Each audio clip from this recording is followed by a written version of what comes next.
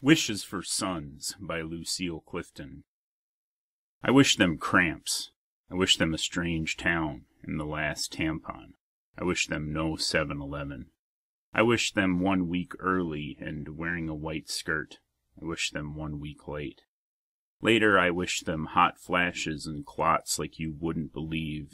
Let the flashes come when they meet someone special. Let the clots come when they want to. Let them think they have accepted arrogance in the universe, then bring them to gynecologists, not unlike themselves.